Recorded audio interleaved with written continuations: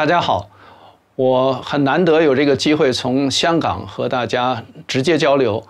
啊，广州和香港都是高密度的都市，而且我们在这次新冠疫情当中，大家可以体会高密度对我们带来的困扰，特别是这样快传播的一个病毒。不过，呃，我不知道各位有没有留意到，中国呢，在呃二零一九年，发改委国家发改委正式的向呃全国发了一个很重要的通知，这个文件是希望。在中国未来的发展更加集中在三个大都市圈，那就是我们现在在的大湾区、长三角和京津冀。这意味着什么？意味着我们居住的密度、我们工作的密度、我们整个经济活动、社会活动的密度，在这三块会进一步提高，甚至成渝地区。要做到这样，实际上在全世界是史无前例的。为什么这么说呢？就是其他的国家从来没有由中央政府推动一个地区，使得它这个地方的人口和密度都会增加。在其他的国家，比如说东京，它的人口密度增加和整个城市变成一个大都市圈呢，是呃市场或者说相对自然的一个过程。我们现在用一个人为的一个过程去强化这个呃发展方向呢，会给我们带来很多的。呃，挑战怎么面对这样的挑战？就是我今天要跟大家解释的，在多层次上看这个高密度发展的问题和可能性，和我们应该怎么参与，作为一个普通的老百姓。首先，我是从香港讲这事情。大家知道，香港是最著名的有高密度带来问题的地方。比如说这个照片上的龙屋啊，所谓龙屋，也就是说在。十平方米不到的地方住着一家人啊，但是香港也有让人感到很惊奇的地方，就是你不管住在香港什么地方，你三十分钟不管坐出租车还是小汽车，你就可以到一个郊野很漂亮没有人的地方。那么这又是说明什么呢？那么香港既然有成功和失败的经验，也就是说高密度发展是有可能的啊，在这种情况下达到宜居也是有可能的。另外，我们还注意到一个很呃有意思的情况，就是我们当谈高密度的时候，这个密度到底是多高，其实并不是大家并不是太清楚啊。比如说这张照片上的瑞典首都斯德哥尔摩，瑞典是被认为人口密度最低的国家之一，但是它的首都斯德哥尔摩的人口呢达到了四千五百人一平方公里。有人说这个比中国的上海和北京还高，其实完全是误解。为什么这么说呢？我们后边把这个故事讲一讲，大家脑子里记住这四千五百人一平方公里是一个什么样子，就是我们看到这幅呃画上的样子。但是我们中国究竟是一个什么密度呢？其实我们九百六十万平方公里，如果按现在十四亿人口摊下来呢，只有一百多人一平方公里。但是如果想到啊，咱们百分之九十二的人口在百分之四十四的土地上居住，也就是我们的东南这一侧啊，这个啊胡焕庸县的东南这一部分，这一部分过去几十年都没有变过。我们的人口，我们的居住都在这边。这边的密度是多少？这边的密度达到二百九十八个人一平方公里，相当于日本现在的整个国土平均下来的标准。那么这是一个什么概念？就是说，我们要跟日本一样去实现一个高密度的人口的宜居环境，才能够把我们的日子过得更好。不过别忘了，我们说的是平均。再看看我下边这张自己做的图，这张图里告诉大家，实际上我们每一个区，比如说广州的海珠区、香港的观塘区啊、北京的西城区等等，很多区的人口密度高达。三万到五万甚至七万人一平方公里，这是什么概念？这就是你们刚才看到的斯德哥尔摩那张图的十倍。在这种十倍于斯德哥尔摩这样的地方，能不能做到宜居？怎么做到宜居？这是一件非常难的事情。不过，我们很习惯住在这个高密度。虽然外国专家有时候说。啊，居住到八到十层已经是啊高密度宜居的一个好像是最理想的状态。但是想想我们周边住的房子是多少层？我们现在说的是三十几层、四十几层，甚至六十几层，住在这些地方，我们有没有宜居的可能呢？在这张图上、图表上，我们看到呢，啊，新加坡一家公司呢，把宜居和密度放在同一个表上，隔出了四个框啊。其中呢，最理想的一堆城市，宜居非常好啊，又密度不高的城市，包括温哥华是领先的。那么在高密度的宜居这一块呢，只有三个城市，那就是伦敦、东京和新加坡。新加坡是最领先的，香港呢是挨在这个边上。那么这里边就有一个问题了：宜居的定义是什么，或者是标准是什么？我们看啊，宜居的标准大概覆盖这五个方面。第一个方面呢是安全啊，这个城市要犯罪率低；第二，这个城市呢要。可以有好的环境和文化，文化的多元化、多样性很重要。就是我们有很多自由的空间啊，思想自由、行动自由的空间，信仰不同的啊东西等等。那么自然环境方面要清新、低碳排放，这些是我们很重要的指标。那么第三类呢是医疗。那么医疗表示什么呢？我们需要有足够的床位和足够的医生啊，人均多少个医生或者人均多少个床位是很重要的一个指标。另外还有基础设施，在高密度的城市，基础设施特别是交通运输设施呢非常重要。我们不是说要修多少高速公路，而是我们需要有非常好的公共交通体系。那么最后一方面呢，就是教育。我们的教育呢是需要普及性的教育，我们要有足够的小学、幼儿园，又要离得近，另外要有好的或者是各式各样的中学、专业教育等等啊。那么这方面的这个人人都获得教育的这种公平性呢，也是体现在宜居城市这个内容当中。我们刚才说，虽然低密度理想，但是在高密度呢，我们也有很多。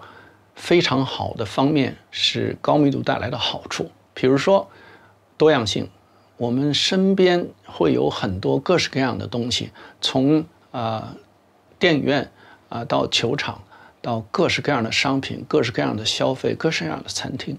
如果密度不高，他们不可能有这么多的种类。另外，密度高呢，给我们带来很多效率的方面的优势。比如说，在中国，特别像在深圳，为什么最早可以推出五 G 呢？因为五 G 呢，实际上是很贵的一种通讯方式，而且要求很多基站非常密啊。那我们密度高的话，可以使得人均的这个消费的价格可以大大下降。那么，在美国这样的低密度的国家呢，就很难实现。这方面我们有很多例子可以举。那么除此之外呢，密度高呢，还表明有很多不同的活动是在同一个相对比较小的空间，这样就有各式各样的上下游的工作机会。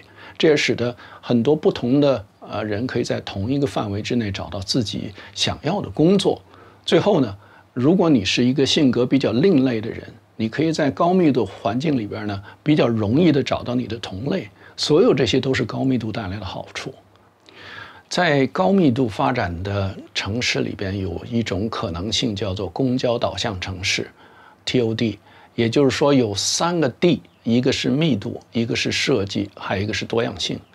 我们中国很多城市密度就超高了，但是多样多样性有没有做到呢？还有很多呃可以改善的地方，因为我们在设计这个地上没有做到最好。比如说这张图上是 非常出名的中国的呃贵阳的花果园，这个小区有多大？这个小区十个平方公里，有多少人？聚了住了三十到四十万人，有多少楼？有超过二百栋，高度四十二层的楼都堆在一起，在这种情况下会出现很多问题，比如说。交通堵塞的问题，在这个地方住，你要有多少公共交通线路才可以支持大家到其他地方？如果没有，结果是什么？大家都买车，都买车的结果就是堵死。那么，如果车超过了车位的数量，堵在路边、停在路边，又带来了行人的不方便。那么很多车停在不规范或者说违规的停车呢，造成更多的对老人、小孩步行的不方便。另外还有一个重要的，我们常常不在呃报纸上见到的一个东西，那就是这样的小区可能在十年甚至更长的时间里不停的装修，不停的各式各样的叮叮咚咚的敲打，白天晚上啊，这个噪音呢是可能会长达十年，地上挖来挖去，房屋里边修来修去，所有这些都是高密度需要特别小心的地方。而我们的很多城市已经到了这个阶段，所以我们必须要克服这些。克服这种问题呢，有两个路径。一个路径呢，就是我们俗话说叫摊大饼，就是把城市往外延，向外摊开的好处，当然就是大家都住 house 啊，这个美国式的。但是在我们这个大湾区，还有刚才提到的几个啊大都市圈，这是不可能的事情。我们没有这么多的地。去做这样的一件事儿，那么还有这样做呢，也有另外一个很明显的坏处，就是通勤距离增加，环境污染增加。那我们还有没有另外一个方式？有啊，看另外这张图上的新加坡，它就是把每一个虽然是多层，虽然是高层，但是它要把它的环境设计成非常优美，而且在刚才说的这几个方面，安全啊、医疗、环境、多元。还有啊，机就业机会、教育等等啊，都要做到呃好，做到极致，这个不是不可能的。但是要实现这个，就像我刚才说的，实现这样的一个目标，再加上有一个宏观的要求，要这个地方的人口和经济活动量更大的话，原来我们有六个方面、六个层次啊，从建筑看这个上面这张图呢，从建筑到小区、到街区、到城市规划。然后再到区域的规划和发展的控制，最后到国家的，比如说啊，这个户户籍政策等等啊，都会影响这个地方最终你所居住的那个城市和你所在的小区那个环境究竟是不是宜居。从这个角度考虑，其实我们最容易参与，作为一般百姓，就是中间这三个我用蓝色标出的这三个方面，也就是说。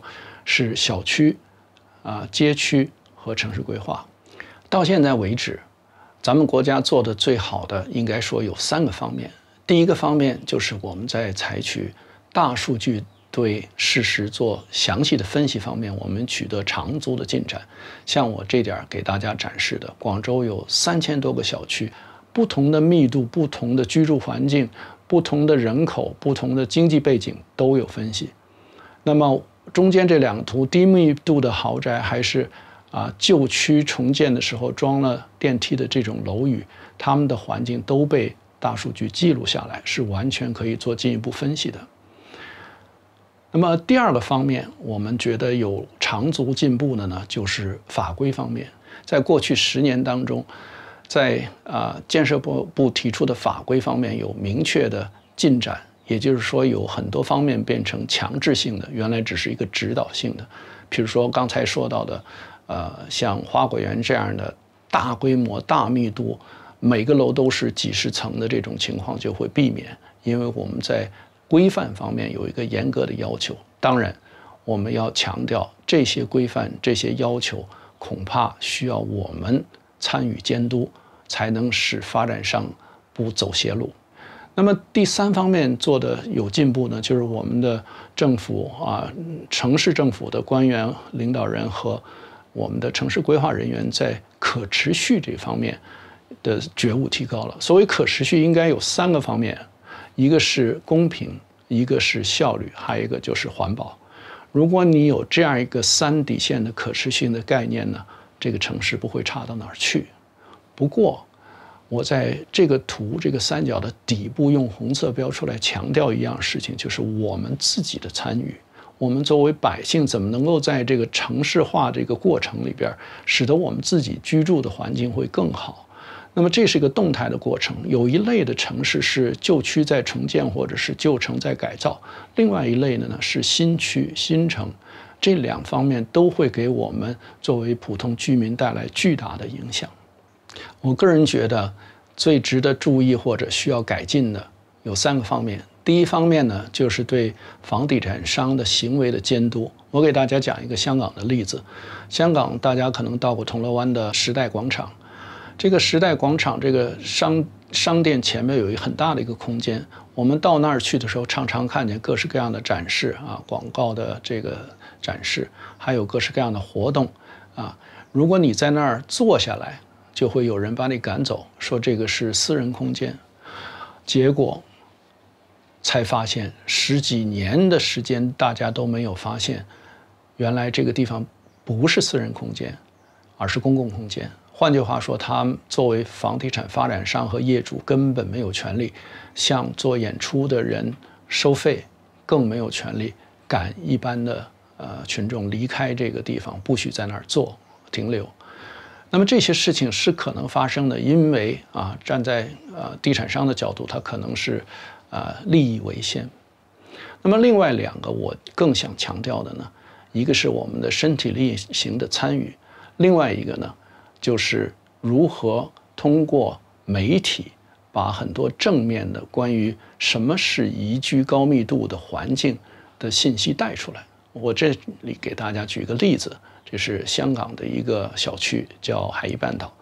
在海怡半岛这样一个这个小区呢，曾经是世界密度最高的小区，在中国还没有出现像花果园这样的地方之前。